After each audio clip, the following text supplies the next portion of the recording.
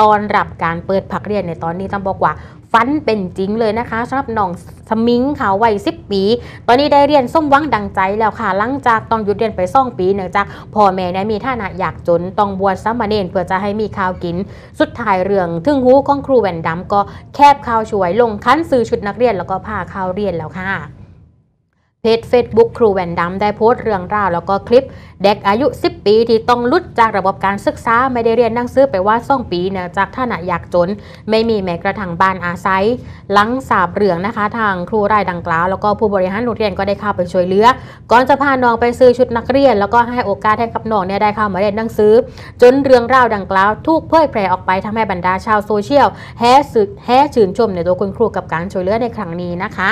ซึ่งผู้สื่อข่าวค่ะก็เดินทางไปที่โรงเรียนเทศบาลวัดตรังกระภูมิพุทธาวาสตำบลกันตังก็พบกับนายชาตรีบุญมีหรือว่าครูแบนดำรองผู้อำนวยการโรงเรียน แล้วก็นายการซิปแพทคงผู้อำนวยการโรงเรียน รวมถึงคณะครู แล้วก็น้องสมิงถือว่าเด็กชายอานิรุธทองเดชอายุ 10 ปีค่ะที่กำลังขมักเขมนอยู่กับการเรียนอย่างที่เห็นอยู่ในระดับชั้นป .1 นะคะ โดยเพราะว่าน้องสมิงได้มีความตั้งใจเรียนเป็นอย่างมากค่ะ แล้วก็สามารถเข้ากับเพื่อนรวมชั้นได้เป็นอย่างดี ถึงแม้ว่าจะพึ่งเข้าเรียนในโรงเรียนแห่งนี้ได้แค่สองวัน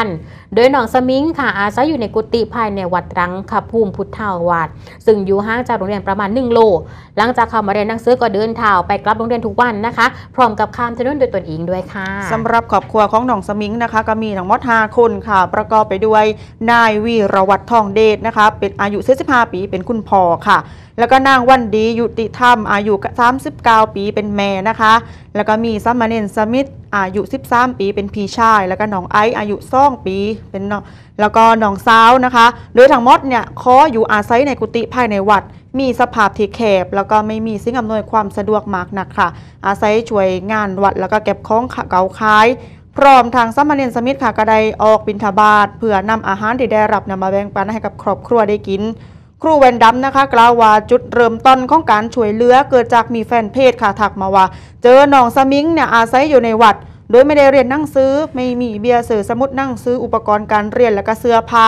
แล้วก็ได้หยุดเรียนไปตั้งสองปีแล้วค่ะเนื่องจากว่าครอบครัวเนี่ยยากจน หลังจากทราบเรื่องค่ะ ก็เลยอยากช่วยเหลือกระทั่งแม่ของน้องสมิงนะคะได้นำเด็กมาพบกับครู โดยเทเด็กเนี่ยมีความตั้งใจอยากเรียนหนังสืออย่างมากอย่างที่เห็นได้ชัดเลยนะคะ ก่อนเททางคณะคู่พ่ออ๋อผู้ใหญ่ใจดีค่ะก็ได้ลงคันกันสนับสนุนเงิน กันได้ส่วนหนึ่งโดยที่ได้นำเด็ก ก็ได้นำเด็กแล้วก็แม่ขึ้นรถนำไปซื้อเสื้อผ้าชุดนักเรียน ก่อนจะนำเข้าวเรียนในวันนั้นเลยค่ะ ต่อมานะคะก็ได้ซื้อพบอีค่ะว่าพี่ชายของน้องสมิงก็ไม่ได้เรียนหนังสือเหมือนกันค่ะ จบเพียงระดับชั้นปเซ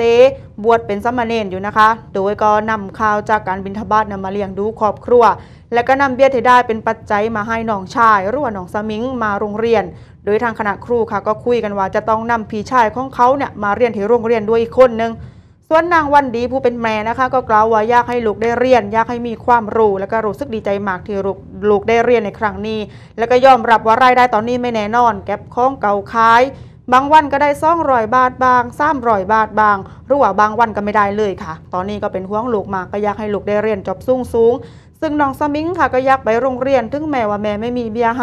เขาก็ยังไปโรงเรียน แล้วก็คิดว่าหลังจากนี้ก็จะไม่มีลูกอีกแล้วด้วยค่ะขณะทีพระประมอนอามาโม ผู้ช่วยเจ้าอาวาสวัดรังกระพุ่มพุทธาวาสก็บอกนะคะว่าเล็กช่วงเดือนกุมภาพันธ์ที่ผ่านมาในเห็นครอบครัวนี้มากวาดญาติอยู่ในวัดทุกวัน โดยที่พระเนี่ยก็ให้อาหารลบไปทุกวันเหมือนกันนะคะ ต่อมาช่วงเดือนมีนาคมค่ะทั้ง 5 คนเนี่ยก็มานอนบนศาลในวัด แล้วก็เป็นช่วงที่มีการบวชสามเณรพาฤดูร้อนก็เลยให้ลูกชายคนโตเนี่ยมาบวชจะได้มีที่อยู่นะคะ จากนั้นก็ได้ให้ทั้งหมดเนี่ยไปอาศัยอยู่ในกุฏิของวัด แล้วก็ทางพระเนี่ยเขาเลยเรียกว่าเหมาะสมนะคะ พอเขาว่ามาข้อที่พึงเราก็ต้องช่วยเพราะว่าถือเป็นภาระของสงฆ์ในการส่งเคราะห์อนุเคราะห์จนว่าเขาจะขยับขยายสถานที่หรือว่าหางานได้ค่ะ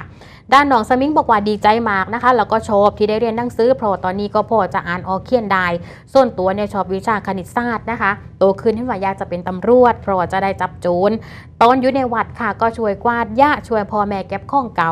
ซึ่งวันแรกที่ได้ไปโรงเรียนนะคะน้องบอกว่าไม่มีเบียร์ติดเปล่าเลยนะส่วนข้าวเนี่ยก็จะมาข้อพระนะคะค่ะทีนี้พอได้ข้าวมาแล้วเนี่ยไม่ได้กินโกนนะอืมให้แม่กินโกนอืมซึ่งตัวเองเนี่ยกินทีหลัง แล้วก็ขอบคุณทุกคนที่ให้การช่วยเหลือสัญญาว่าจะเป็นเด็กดี แล้วก็ตั้งใจเรียนนั่นเองค่ะอืม